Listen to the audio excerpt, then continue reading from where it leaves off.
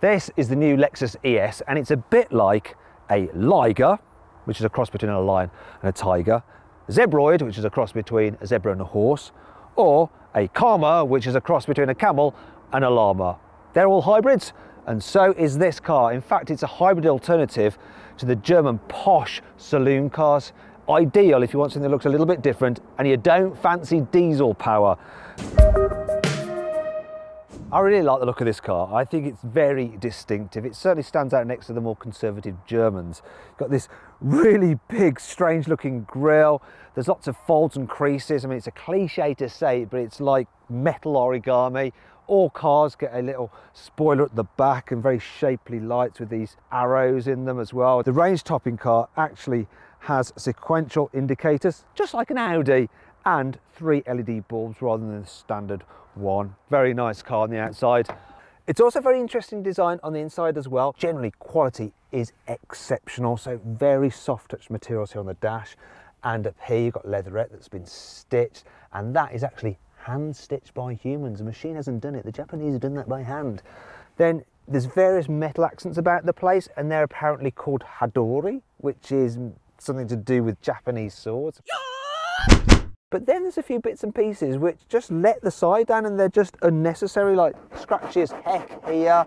Down here by the door it's a bit scratchy. But the worst bit is up here on the dash, that's really thin and scratchy. In fact, I've just marked it. And here it's awful. It's like out of some really, really cheap entry level Toyota.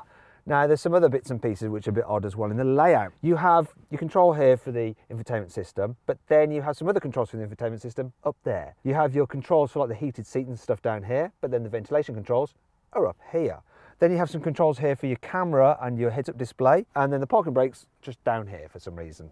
Right. Now when you turn the car on, look, it moves your seat forward and your steering wheel into position so moves it back when you get out so it's easy to get in and out. As you turn on the car you get the digital display light up and it's really clear. It's mainly digital, you've just got a couple of analog dials towards the right. Very easy to understand what's going on with that and you can control the different menus and flick through them using the control on the steering wheel. Another thing I like is this. So the different driving mode buttons are up here. So you can get to them easy off the steering wheel rather than being down here like there are in many other cars. That is all good.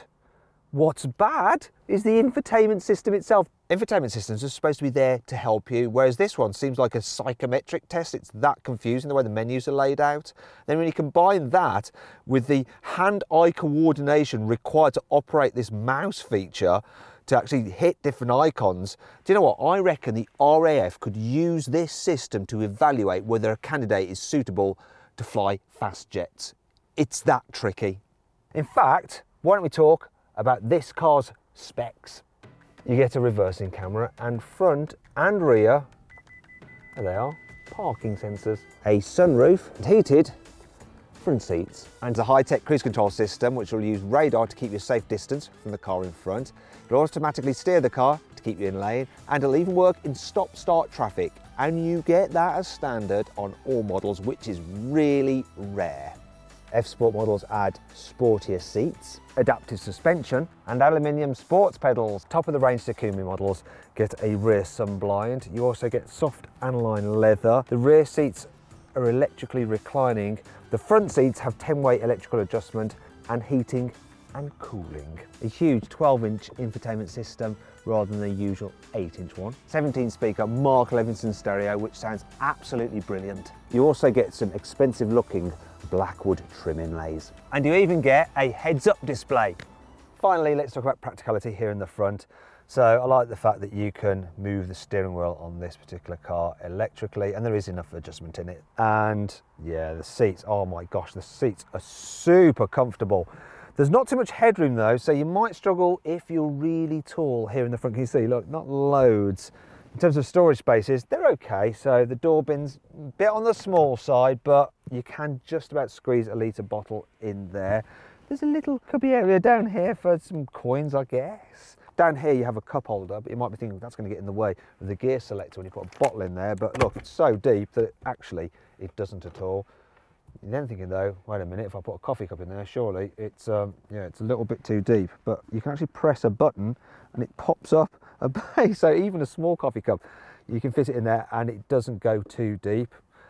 Also, anyway, you've got another storage area here where you could put another cup of coffee if you wanted to for your passenger.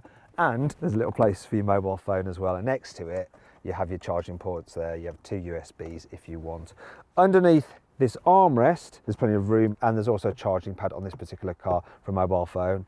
What if your passenger wants to get into this? No problem, it opens that way too. How clever is that? Finally, the glove box. It's not the biggest, but it goes back a long way, so plenty of space really. And I like the fact that even here, mm, soft padded material on the outside feels luscious. Right, let's go into the back. So, one thing about this car is that it is fairly long. So look at this, I have a decent amount of legroom. I mean, absolutely loads of legroom, really good, you can stretch out. I also like the fact that the seat bases are nice and deep, so you get lots of under thigh support. The problem though is this. So that sloping roof line means that if you're really tall, you're gonna hit your head on the roof. It's gonna feel cramped for people over six foot here in the back. No headroom really at all, which is a shame. If you want to carry three at once, then it gets even worse. So the middle seat is a bit raised up, so then, yeah, no good for me at all.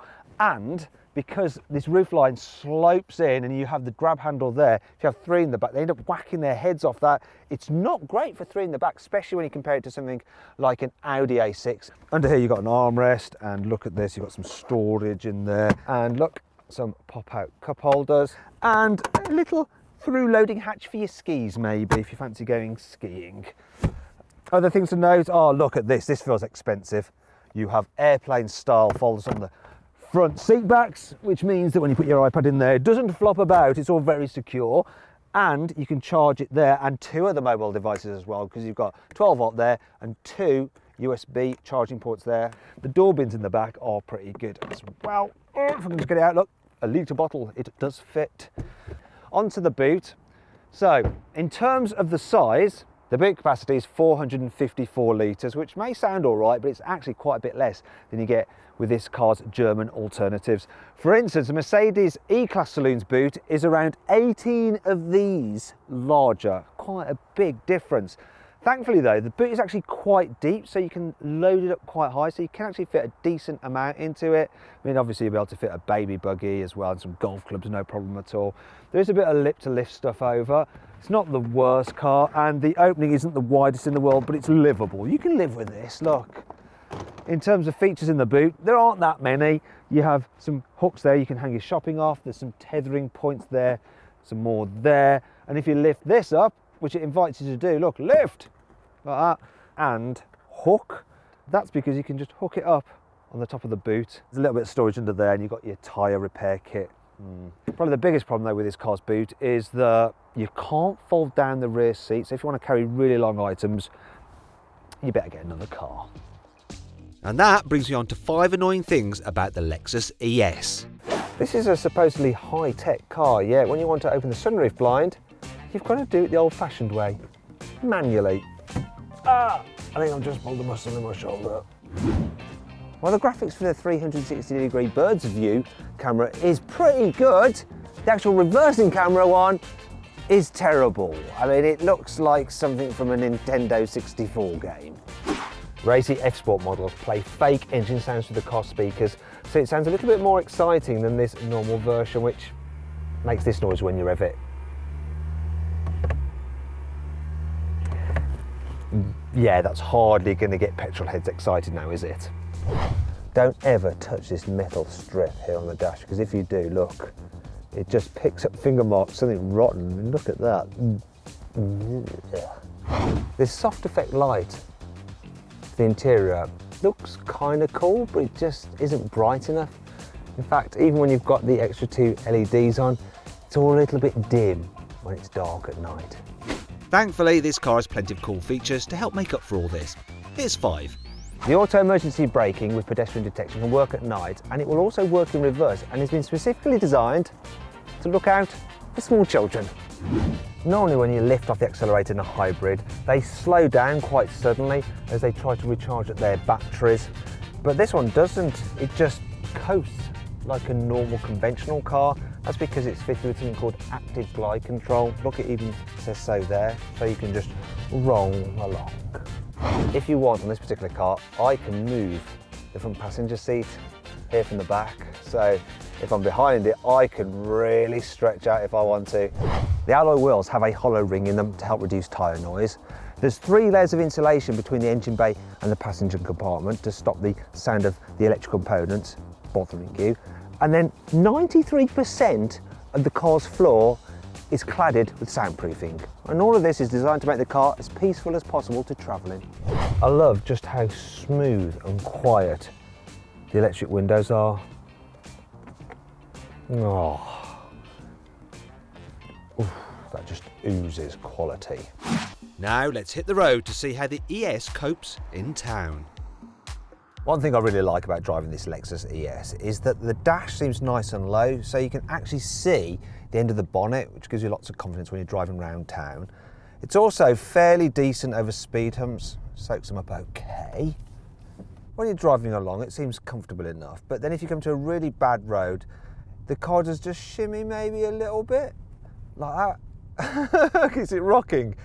And if you hit a sudden bump or pothole, real sharp one, then all of a sudden there's a jolt. It's almost like it has a sleep twitch and it suddenly wakes up and goes, oh gosh, what was that?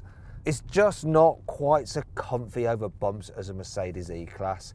One thing this Lexus 300h has in its favour though is that being a hybrid, you can mooch around at slow speeds using electric power alone, so it's just really quiet and relaxing.